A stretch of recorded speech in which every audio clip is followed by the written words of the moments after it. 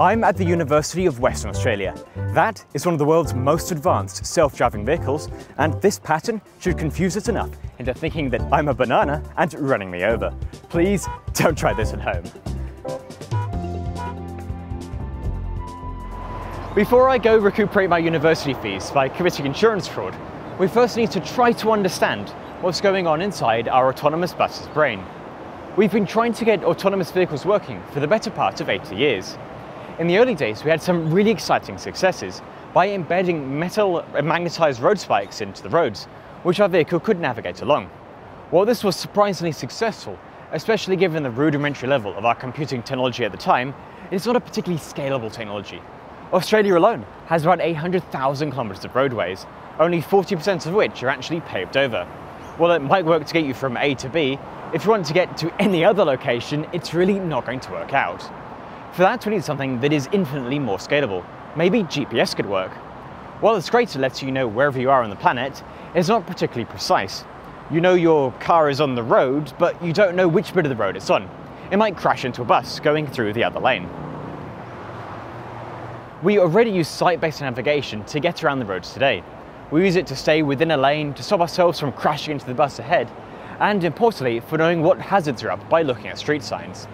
On top of that, cameras are getting pretty cheap.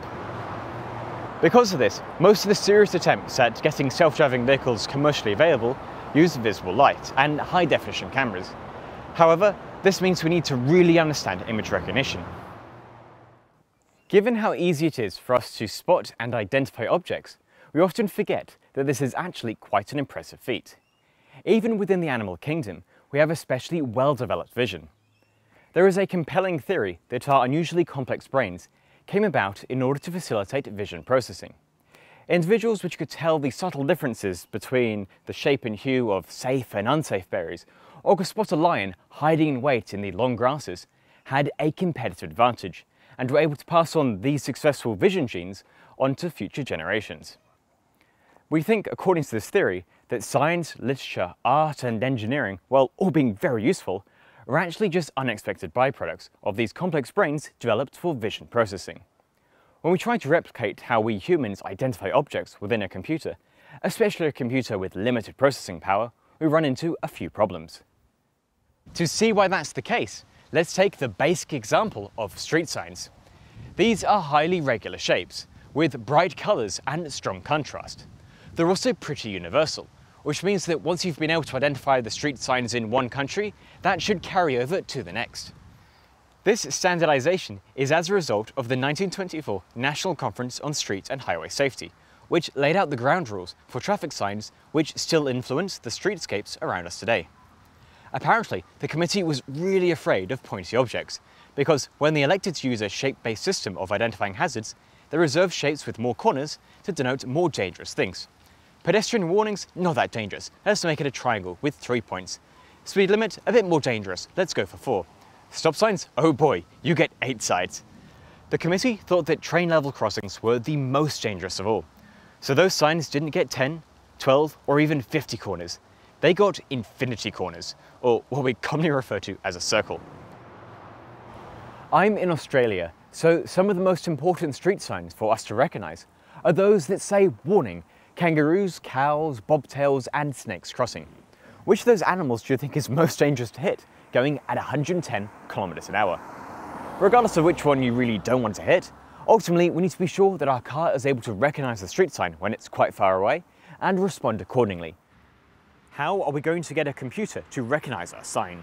Here is one approach which may be an option. Okay, it's a yellow square with a nice thick black boundary, rotated 45 degrees, and a silhouette kangaroo in the middle. Let's start out with that boundary. Four lines meeting at 90 degree angles. But what's a line? Well, it's straight. Fantastic, but that doesn't really correspond into computer code, so we're going to need to come up with some sort of algorithm. Let's look at the pixels and just consider the ones that are dark. Pick one and now consider the pixels which surround it. Are any of those also dark? Nope. Okay, let's find a different one. This time, are any of those dark? Yes? Cool. Okay, now have a look at its adjacent tiles. Are any of those also dark? Great. And now look at its adjacent tiles, and that one's adjacent tiles, and another, and another. Now plot the coordinates together. Is the gradient roughly consistent? Perfect. That means we've found ourselves a line. Repeat this a bunch more times, and if the plotted lines match up in a roughly diamond shape, then we found ourselves a street sign. Now that we've identified our square, we need to check if it's a warning sign or just a random box on the side of the road. We do this by taking the average RGB value from inside our rectangle and corresponding it to either yellow or not yellow, telling us if it's a warning sign or just a random box on the side of the road. Now we need to work out what the caution sign is warning us against. If it's kangaroos, then our response should be to slow down and be a bit more cautious. If on the other hand it's warning us about drop bears, then the only appropriate response is to wind up the windows and get out of there as fast as possible. For this we need an even more advanced line plotter algorithm, and maybe include a few matrix transformation routines to take into account if we're looking at our kangaroo from an angle. But not all kangaroo drawings look the same, so we need a database of potential designs. What if there are branches in the way? Well, that would mess up with our shape. So we need to accept a range of kangaroo-like objects and maybe include a function that removes branches from the image. Now do this for every single street sign, zebra crossing, set of traffic lights and road marking that you can think of, and a few which you might have forgotten. You can start to appreciate how this quickly becomes a very complex coding nightmare. Rather than getting an underpaid, overworked, sleep-deprived, caffeine-addicted undergraduate student to manually program every single conceivable object that your car might come across, Another option is to get the computer to do that for you. This is what's broadly defined as machine learning.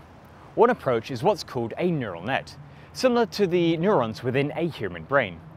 Rather than taking a set of instructions and just going through it one by one, instead we have a complex web of relations between inputs, analysis, and outputs.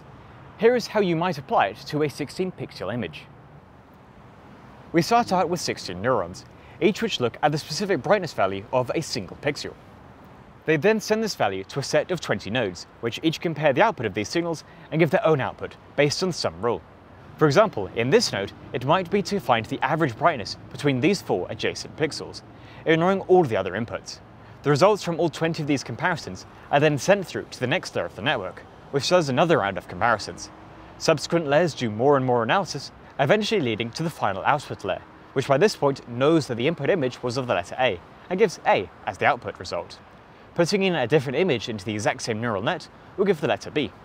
While this may look like magic, this complex behavior drives entirely from simple relations. Unlike with normal programming, no one is manually going through the net and manually changing how the nodes do their weighting. Instead, a special training program is doing that for itself. Our neural net training regime is basically pattern recognition turned up to 11. We start out with a few hundred randomly assigned networks, each with slightly different node weightings. Obviously, when we chuck in some sample images, the results we're going to get are going to be pretty much gibberish. However, a few of them are going to be slightly less gibberish than the other ones. These are the most fit of their generation, and in a process similar to evolution, are allowed to combine with each other, giving us the next generation. We also include a little bit of random mutation, which means that the next generation can be even better than their parents, or alternatively completely garbage, we take the ones that are really good and combine those together again, giving us the next generation, which we combine the best ones of again, giving us another generation, and another, and another, and another. Eventually, after maybe hundreds or even thousands of generations, and a huge amount of processing power, eventually we get a network that works pretty much all the time with pretty much all of the samples. What happens during this training is that the net is slowly identifying key characteristics which correspond to each of the objects being analysed. If you or I were describing a bus, we'd probably say something about it being bright yellow, with lots of windows and a big wing mirror. The difference being that the net will occasionally identify characteristics, which, while true in the training data, don't necessarily correspond to the real world. Here is one particularly dangerous attack created by an American research team. The team trained up their own neural net using some publicly available street sign data. After a couple of weeks of training, they could reliably identify stop signs, such as this one. Next, they attach some white and black bars. You and I can still tell that it's a stop sign, but the team's neural net could not. Instead, it was certain that it was a speed limit of 45. If the neural net was in control of an autonomous vehicle, then it would have driven straight through the intersection. Instead of recognizing the shape or letters S, T, O, and P that you and I might recognize in a stop sign, instead I think the neural net has latched onto something different. I think that because the number 4 always has a white patch in the middle and the number 5 some sort of line at the bottom, it's seen these characteristics, knowing that it only ever sees them in the context of a speed limit 45 sign, and just run with that. This is always going to be an issue when we have limited processing power and storage. If we have a complex way of identifying a sign and a simple way, and both are equally successful with our training set, then the evolutionary pressures of this algorithm will prefer the simple option. So what makes my t-shirt so dangerous? Here is a demonstration come up with by the folks at Google, working on the Google Vision AI. Here they're identifying the subject of an image, and yep, they've correctly identified it's a banana. And now they're adding in a picture of a toaster. But no simple toaster picture is going to make Google confuse what the subject of the image is. No sir, they are much smarter than that. Oh dear, pretty much 100% certain that it's a toaster. And this thing doesn't even look like a toaster. What's going on? Here is what the classifier algorithm thinks is the pure essence of toaster. When the neural net sees it, it ignores everything else and just looks for the toaster. This is what the Google team dubbed as adversarial patches, and they're surprisingly simple to create. Here's the one that I have on my t-shirt. It's what the algorithm thinks is a banana. As long as it can get a clear shot of the patch, then it should ignore me entirely and potentially run me over. All it thinks it's doing is running over a banana. Let's head to the real world to test it out for real. So what's going to happen with the UWA bus? I have the right t-shirt on, it has the wrong sensors. In a few meters, I'm going to become a banana flavored pancake. Except, it stops. That's because although we may have been able to confuse the neural net, ultimately there was a backup system. There were some infrared proximity sensors which stopped when I came too close. No autonomous system should rely on just one level of redundancy. In addition to our proximity sensors, we could also cross-reference the government databases, which store the location and types of all the country's street signs. We could then compare this with what we're observing on the streets around us. On top of that, Google appeared to be improving their Vision AI. Here is a Python program which I've written using the Google Vision AI. We take a photograph and then the Google AI identifies the most likely candidates for the subject of that image. Here we can see that we're correctly identifying a banana. Here we have some sort of book. And finally, we have a collection of tools. Now, we expect that this should have worked. Remember that Google AI was trained for just this sort of use case. But what I want to know is what happens when we add in these adversarial patches, designed specifically to trick the Google AI. Here we see that the banana is still a banana, the book still a book, and this collection of tools is still just a collection of tools. Either Google were lying to us when they said that they'd been able to trick their own AI, or more likely, the version of the AI that I'm using has been improved upon the 2017 edition, which was discussed in the paper. Like with the game of whack-a-mole, what I think must be happening is that whenever research comes out that says the Google AI can be fooled in some way, the engineers are behind the scenes, quietly patching the issue. While this may work fine in the short term, I'd rather not trust my life to an AI which may or may not stop at the next stop sign before Google managed to catch and then patch the issue. In order to get a truly safe autonomous vehicle, not only does it need to reliably identify objects, but it also needs to understand how they fits within the broader road context. As our vehicles become smarter and smarter, where do we draw the line between the human passenger and the vehicle becoming more like us? This has been James Dingley from the Atomic Frontier. Keep looking up.